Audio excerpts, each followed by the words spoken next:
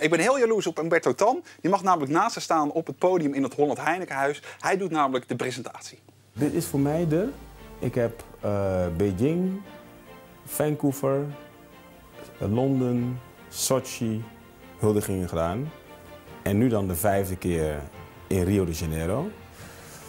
En die huldigingen, ja, dat is toch de icing on the cake. Henkie Geen RTL Late Night voor Umberto Tan deze zomer. Hij sleept een andere mooie klus in de wacht. Hij gaat namelijk weer alle Nederlandse Olympische medaillewinnaars huldigen in het Holland Heinekenhuis. Hier is de Nederlandse hockeyploeg. Daar sta ik daarnaast. Eerste rij, eerste rang. Ze zijn blij. Ik bedoel, het is het eerste moment dat ze uit hun sportkokon komen. Staan ze bij mij op het podium. Voor 3, 4, 5.000 mensen. Topmoment. Het succes van alweer het dertiende huis is simpel te verklaren, volgens de presentator. Mensen worden echt gehuldigd. Dorian van Weesselbergen. En ook als er geen huldigingen zijn, is er echt feest. Met grote artiesten en met een sportsfeer. Veel meer nog dan een aantal jaar geleden.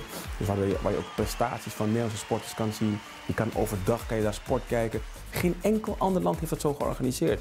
Je hoort altijd tijdens, voor en kort na de Spelen het uh, over Holland Heinekenhuis. En bijna overdreven hoe mooi en bijzonder het is.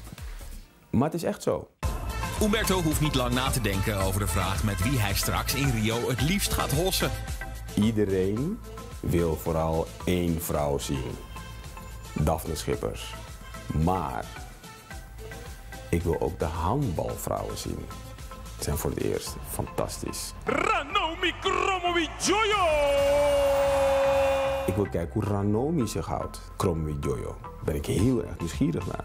Voor mij springen die er wel uit.